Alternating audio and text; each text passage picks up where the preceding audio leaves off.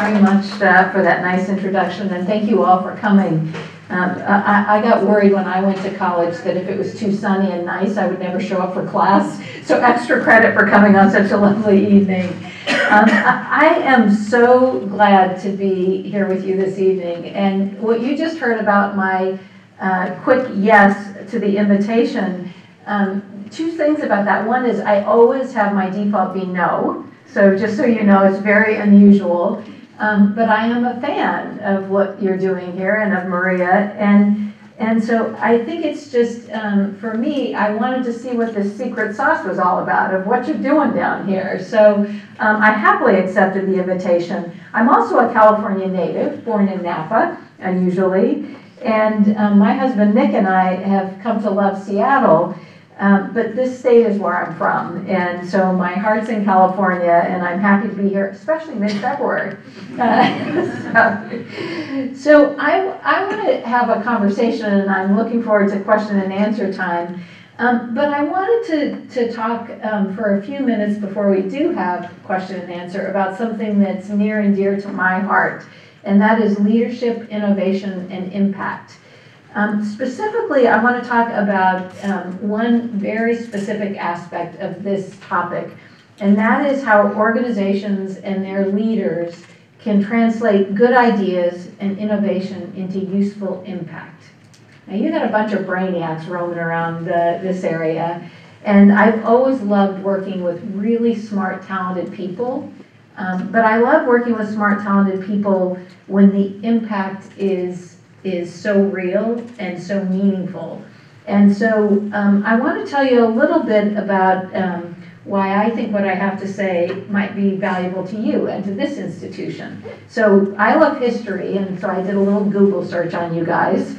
Uh, and I found it fascinating that Harvey Mudd College opened its doors in September of 1957. I know you started, the concept, the light bulb was 1955. Um, but September 57 is important for a couple of reasons. Um, less than a month after that, the Soviet Union launched Sputnik 1, inaugurating the space age. So Harvey Mudd and Sputnik 1 uh, were kind of joined at the hip. But you might not have known that in August of 1957, I was born.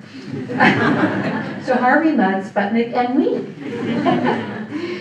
now, seriously, I, I, I was telling my husband last night, a liberal arts college of engineering? He said, isn't that an oxymoron? Isn't there something wrong with that? So I said, no, no, it's right here. I Google searched it. right here in Southern California, a true hotbed of the post-World War II aerospace industry. So really a coming together of seminal events. In that autumn of 1957, there was nothing abstract about the link between innovation and impact, not for those first students and professors here at Harvey Mudd, or for the nation as a whole. All of a sudden, the American people developed a sense of urgency about innovation, the kind of innovation that could produce swift and measurable results, the kind of innovation that could launch satellites of their own and place human beings on the moon. I found this history compelling because we too live in an era where there's an urgent need for innovation with impact. I'm thinking about innovation with impact a lot these days and about history a lot. This year marks the 15th anniversary of the Bill and Melinda Gates Foundation. I'm a big believer in the value of seizing milestones like this. I said I'd have to give my chancellor credentials back if I didn't take advantage of an anniversary. Milestones are an opportunity to take stock, to learn from the past and celebrate our accomplishments, and even more importantly, to plan for the future. This moment of self-assessment revolves around a question of impact. When they write the book about the Bill and Melinda Gates Foundation, have we made as much impact as we should? Are the choices we're making right now putting us in a better position to make an impact? No private organization has ever tried to address the kinds of problems we're working on. When I tell my mom and dad what I'm up to, or my friends what our ambitions are, global health, solve polio, eradicate malaria, fix TB, HIV, AIDS, agriculture, water sanitation and hygiene, And I stop and think, oh my God. Global health, extreme poverty, and the inequities of the US education system. Nobody's ever tried to solve such problems before with the resources we're bringing to bear on these problems. So it's not uncommon for me to be reminded that I'm CEO of the largest foundation in the world. That's good. I like big. I like scale. We can have grand, grand ambitions. Scale is good. We can make important things happen. But if we're not careful at this largest foundation in the world, we can fall prey to the undesirable side effects of bigness. Bureaucratic bloat, a loss of nimbleness, a numbing of each individual's sense of personal agency and responsibility. Bloat, loss of nimbleness, numbness, they even sound like side effects. See, this is what happens when you have a physician talk about leadership. you know, the point is, while we're referred to as big or the biggest, I have counseled myself and my colleagues towards an aspiration. I don't want to be remembered in the history books as the biggest foundation. I'd really love to be remembered as the best foundation in the world, measured by the foundation that made a really big difference, that made important things happen, impact. The key to achieving this, I'm convinced, is to focus on exactly what we're all here to talk about tonight fostering a true spirit of innovation and translating the results of all these great ideas into real impact. I've told people good intentions aren't worth a lot. I know many people and love working with people with good intentions, but we ought to be held accountable for real impact beyond those good intentions. And so for me as a leader, this fierce wish to make an impact has two dimensions. An internal dimension about the organization that I lead, and an external element, and I want to talk to you about both of those. Now, as you all know, being here at this wonderful college, there's what you do within your own organization. That's the internal part. But then there's how your organization shows up in the world and how that world makes an impact on you. That's that external part a leader has to start with internal.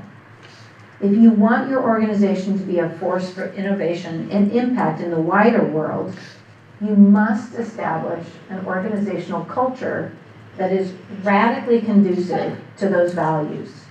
Otherwise, you're just kidding yourself. You can't go to work every day and experience a culture that's inconsistent with the impact on how you want to change the world. So a leader's quest for innovation with impact begins with how he or she manages people. That is such a central interest for me. In fact, it's become a passion. When Bill and Melinda Gates introduced me to the employees of the foundation in a town hall meeting set up in our headquarters, I told the audience who asked me, why'd you come up here? It's cold and wet? You're not from Seattle? And what I told them is what's true now nearly a year into my job as CEO. I love being around smart, talented people. What makes me happy and is thrilling for me is the thought of myself as a leader, anything I can do, all my energy focused on bringing out the best in all that talent in all those people in service of the great mission that I'm honored to oversee if I can set an environment that brings out the best in people, I'll be really proud. I won't make the invention that solves something. I won't figure out the strategy. But if the environment allows others to do that, then I'm sure we'll make an impact. Now, now, not quite a year on, I still see bringing out the best of our talent in service of our great mission as the essence of my role as CEO. But that's a really nice thing to say. How do you actually do that? What does that mean? bring out the best in the talented people? Well, I think it all starts with fostering a sense of individual ownership. Each person has to feel like what they do matters a lot. I, I had a great experience in this front uh, at Genentech. When I first started at Genentech, there was a lot of moaning. Stock price was flat, we had a little bit of a dry run on product development, and we, we love to moan and grow. And I started walking around telling my colleagues, you know, we run this place. And they would look at me like, what? I had just come from a very large pharma company to a 2,500 person company. And the thought that we were in charge, I just thought was amazing, outstanding. And when I said to everybody, you know, we run this place, it kind of stops the whining. If you don't like it, fix it. If you don't like what's happening, suggest a solution. And that's a frame of mind I hope to instill at the Gates Foundation. It's, it's my way of saying my individual contribution doesn't just matter, it's definitive to the future of this organization. I'm going to make sure we do great things. And by the way, you are too. That's a totally different feeling than the man is deciding something behind some curtain that dictates my fate. And I think that's the frame of mind you need to have if you want to innovate or create work that generates impact. We run the place. What are we going to do to change the world? So a huge part of that for me is something that I've only learned over time. And that is encouraging people to be who they are, to be authentically themselves at work. Now, you might say, okay, being yourself at work, what does that mean? That sounds like California speak. I've spent too long at Berkeley and all. But no, I actually mean it. If you want to instill the message that an individual's contribution matters, you need to signal very clearly that who they are is all they need to be. You can't have a pro-innovation workplace if people are wasting mental energy on pretending to be someone they're not. Now, your president has been a leader in bringing attention to the phenomenon of impostoritis. There's a disease for you. Impostoritis, in which individuals who appear very successful actually feel like imposters or frauds, like they somehow don't match the requirements of the role they're in. So I remember first thinking about a CEO, and my vision of a CEO started with being male and powerful. Remember Jack Welch at GE? But I have nothing in common with Jack Welch, happily. Um, but here's the thing. Great leadership is bringing out the best in yourself, no matter who you are and who you're like. I think one hallmark of a well-led organization is that it does everything it can to demonstrate to its people that yes, they belong there, that they are accepted for who they are. A leader has to model that from the top that you accept yourself as you authentically are, and that you don't need to be something you're not. You didn't get a personality transplant or some upgrade to become the leader of that organization. In fact, I'd say the biggest leadership lesson for me so far has been that you don't need to change to be a great leader. That, for me, is very reassuring. It's, a, it's the best anti-anxiety in the world. If I tap into anything good about me, I can be successful as a leader, well, surely I can do that. I wondered about this, and as I grew in my career and began taking on more responsibility, I worried a little bit that I would have to be somebody different or change my basic nature to be an effective leader. As it turns out, the answer was, in fact, and is, in fact, no. And that's a wonderful thing. It gives me a lot of energy. It gives me a lot of confidence to just show up with all my faults and flaws and do my best to lead. So one reason that it's so important to demonstrate this acceptance of people and who they are, starting with yourself as a leader, is that failure, failure is such a fundamental part of innovation. I wish it weren't. You simply can't innovate without taking risks, and you can't take risks without experiencing failure sometimes. It's important for a leader to signal that his or her organization is an environment that encourages the right kind of risk taking and accepts that sometimes when you answer questions, the answer is no. That drug doesn't work. That new technique isn't better than the old technique. In fact, you didn't help the people you were trying to help. There are a lot of ways a leader can send that signal. Now, as many of you know, um, I have two great bosses, our co-chairs, Bill and Melinda Gates, and I have another third trustee, Warren Buffett. It's a pretty awesome set of folks I get to deal with, by the way. Uh, so I got to talk to Warren Buffett soon after I became CEO, and I wanted to probe him for something that had been just written in the Wall Street Journal. It was about an approach that he and his business partner, Charlie Munger, very strongly advocate. A trust-based system in which you hire people you trust and then give them broad leeway within a relatively limited set of controls as opposed to a compliance-based system that relies on lots of internal rules and controls. I kind of like this trust-based versus this compliance-based.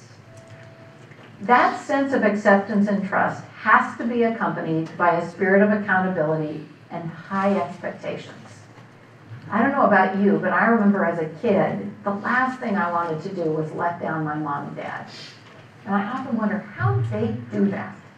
How they put the onus on me and not them. That's a trust-based culture. And here I had another great influence as a leader, and that is my boss at Genentech, Art Levinson. He had a huge influence on me as a leader. In the best of ways, he would demonstrate to me something super special about any manager and leader. That he was going to keep raising the bar for what he wanted from me or what he expected from me. In fact, sometimes I feel like yelling or swearing at him. But he was seen always completely confident that I was up to it. Even when I wasn't confident myself. It became clear to me that if you're trying to lead people towards genuine achievement, towards innovation and impact, you're not doing yourself or them any favors if you're being nice, if you underestimate them or take it too easy on them. It's better to say, I'll bet you're capable of more. I'll bet you're up to it. And yeah, I am going to ask you to do hard things over and over again, but you're up to it. That's a special leadership trait that I'm really grateful for. So as you might guess, by moving over to the Bill and Melinda Gates Foundation, I haven't exactly given up on the habit of working with leaders with high expectations. I seem to be a serial uh, enabler of such leaders. But part of what makes Bill and Melinda Gates so successful and so special is they do have very high standards and high expectations for themselves, for me as CEO, and for our entire organization. And you want to live up to those, especially when the mission is so compelling. Of course, high expectations can run both ways. You need to not only challenge your people, you first have to start by challenging yourself. What you're really after, if you're serious about innovation and impact, is a culture that welcomes the right kind of conflict. I'm not afraid of that, and neither are Bill and Melinda Gates. I think, as a scientist, that real truth comes out of messiness. That there's a part of inventing and there's a part of innovating where you fail, where you don't know the answer, where no one knows the answer. And that's where I think diversity comes into play. A diverse, disparate perspective, everybody working off one another will lead us to the truth. I love it when someone zigs as everyone else zags. That's special. And it can lead to ending up in a better place. So I like to give the example from medicine, peptic ulcer disease. When I did my medical training, we thought peptic ulcer disease was caused by stress. It kind of made sense, you know, stomach acid, stress, furrowed brow. In the early 80s, a couple of Australian doctors found that no Peptic ulcers are actually caused by Helicobacter pylori bacteria. And boy, did we make fun of them. We said, everyone knows it's stress. What are you guys doing? You're crazy. Everyone knows stress causes ulcers. But those crazy Australians turned out to be right. They gave us a far clearer sense of what causes ulcers and how to relieve patient suffering. all of what this really comes down to, in the end, is our ability to tolerate elements of discomfort on all sides. When I'm in a place where I think something really special and innovative is going on, it often makes me feel a little squirmy. Somebody's not gonna like it. It's gonna disrupt the status quo. Someone's gonna get mad and maybe just a little defensive. A leader has to be able to tolerate the individual authenticity of his or her people. Everyone has to be able to tolerate a certain level of failure and lack of comfort, and open to the constructive conflict that seeks truth. If you're not able to have this kind of toleration, you're not ready to be innovative or to have a real impact in the world. If you want a work culture in which the answer is always yes, and everything succeed all the time, and everyone is good enough all the time, you're playing small ball. And your progress will be minor at best. So internally, I think you want to set up that kind of culture, a culture that accepts and rewards that kind of disruptive zag. But what about external? What about the world beyond your organization? We all get internally focused and think about our day-to-day lives and where we show up. But the external world should have a huge impact on how you think about your mission and your ability to make a difference. That external focus is something that I learned in spades this year and in 2014. And one of the reasons I feel really good about the Gates Foundation's response to the Ebola epidemic in West Africa. So once we knew the scope of what the world was facing, we had to move very quickly as a foundation we didn't work in West Africa. We actually didn't do, have any programs in West Africa, and we didn't work on Ebola. But we were able to quickly set up Emergency Operations Center with our colleagues in Nigeria, identify where to send the resources, and we were committing towards an emergency response and health system support in the affected countries where literally the first of our grants went out of the foundation in less than 48 hours we began working with partners on accelerated development of vaccines, other medications, and diagnostics. And through all of this, we had to put aside purely internal questions of where does this fit in our org chart? Whose job is this? Because the fact was, it was no one's job, and yet it was everyone's job. We set aside our day-to-day normal life and focused instead on the external reality. People were dying and many more would die, and we needed to get going. And that's exactly what we did. It was a great example of how we could spur innovation and have significant impact in an immediate, tangible way. But that short-term, acute, quick response can also play out against longer time frames. As you may have seen, Bill and Melinda Gates recently put out their new annual letter. They copied this in a really positive way from what Warren Buffett does for Berkshire stockholders every year. Bill and Melinda spelled out an innovation-driven approach to global health and development. So if you did miss it, you should check out gatesletter.com. But there's a big bet that Bill and Melinda put out in this year's annual letter that I really like. Their big bet is that the lives of people in poor countries will improve faster over the next 15 years than at any other time in history. So the lives of poor people will improve faster in the next 15 years between now and 2030 than at any other time in history, and their lives will improve more than anyone else's during this period. Central to the attainment of that goal will be breakthrough innovations in health, agriculture, banking, and education. This includes the development of products, specifically vaccines and other medical technologies that serve the world's poor. The most effective engine of product development is the business sector. So we know that as a foundation. We like capitalism. Even though we're not for profit, we're not against profit. Nothing else matches capitalism. Its combination of capital resources, responsiveness, and sheer ability to deliver. I used to say when working at the Uganda Cancer Institute, if I get cancer, I hope someone thinks they can make money by solving my cancer. I just love that sense of urgency. I'm all for a big heart, but I love urgency. Companies have an understandable incentive to focus on products that can make money. They owe it to their shareholders, their investors. So how do you circle that? When I'm working on things that affect the poor, and people in private companies want to make money, there seems to many people a huge disconnect between those two. So I understand this dynamic very well as somebody who worked in private industry for 16 years. Also, as somebody who worked as a leader in academia and now at a large philanthropic organization, I can tell you I'm increasingly excited about the potential for creative collaboration across sectors.